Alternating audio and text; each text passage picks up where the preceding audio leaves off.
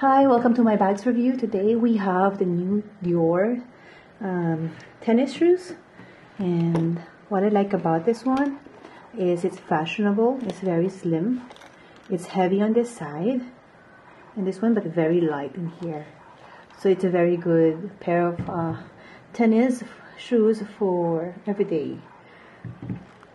That's it for now. Um, I hope you like our short videos and come back for more. Please give this video a like and subscribe to our channel. And see you next video. Bye.